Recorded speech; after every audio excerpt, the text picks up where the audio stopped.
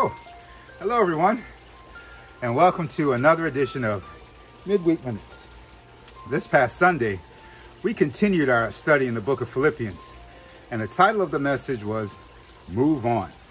The passage was taken from Philippians chapter 3, verses 12 to 16. Let me read it for you.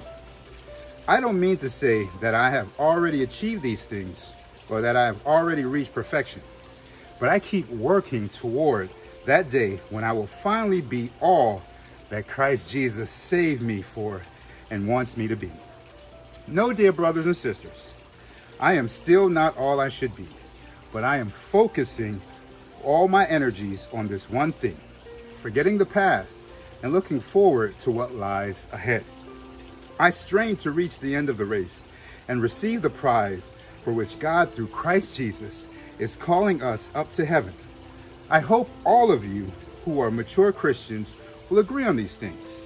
If you disagree on some point, I believe God will make it plain to you. But you must be sure to obey the truth you have already learned. Move on. You know, let me give you an example of moving on. Years ago, when we had Hurricane Wilma, it was manic. I mean, people were losing electricity. The gas lines were hours long. I remember one time I stood in line for gas for over four hours. And so, you know what I decided to do? I decided to move on. I drove to Orlando, yep, Orlando, which is almost three hours away, to get gas. And I was able to drive to Orlando, get gas, and make it back to South Florida before some people who were in line to get gas was able to get gas here locally. So I learned how to move on. You know, the first point from Sunday's message was in Christ, there is always more. There's always an upgrade. And who doesn't love an upgrade? Imagine when you rent a car and the midsize that you um, reserved isn't available. So they upgrade you to the full size or maybe even the premium. You know, that same trip, I got an upgrade. I decided during Hurricane Wilma to take my family and move on. You know why? My wife was eight months and three weeks pregnant with my son Austin. And being in a house with no electricity in the South Florida weather with a pregnant wife, not fun at all. So I decided to spend a week in a hotel in Orlando. And when we got there, we got an upgrade. We had a huge suite. It overlooked the city and it was a fabulous thing. And we paid the same regular room rate. So we were able to get that upgrade. And we all love an upgrade. And why was I able to get that upgrade? Well, our second point um, from Sunday is that when you look toward the future God has for you, you can put the past in the past.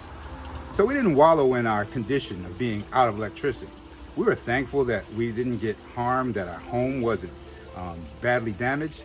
And I decided to use my resources and take my family up north to get a hotel room. And that was because I had the mentality that God has something better in store for me. And I let the past be the past. Now, we have been rescued from a horrible past. We have been rescued, if you're a believer, from eternal damnation. And now we have eternal life with our Savior. And we're not there yet. This side of glory, perfection is not ours to have. You see, we won't get perfection until glorification. But in the process of sanctification, it's about direction. Are you moving on in the right direction?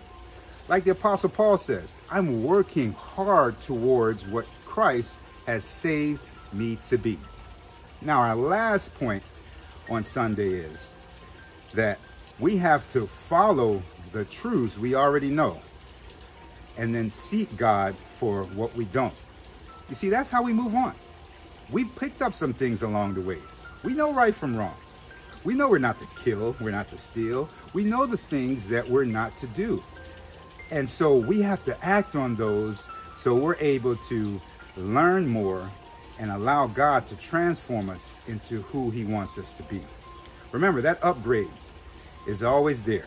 There's always more in Christ. No matter what your life is now, there is better here on earth, and then ultimately there is perfection when we reach glory. So I encourage you, work hard to move on. Put the past in the past. Act on what you know and seek God for what you need to learn.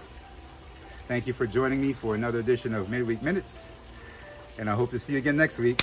Goodbye for now.